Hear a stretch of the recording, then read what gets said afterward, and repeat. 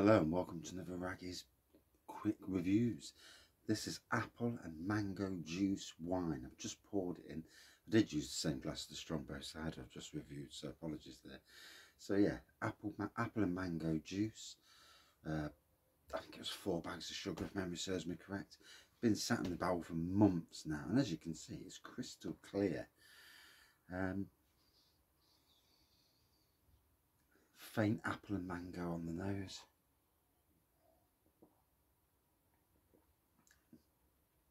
It's not too bad on the taste. A bit more spicy the apple is on the taste. But you know, just shows you what you can make from juice wine. Cheap wine, you know, it, it's not supermarket quality. But if you need a bit of wine, jobs are good. And cheers up. And out of five, 4.2.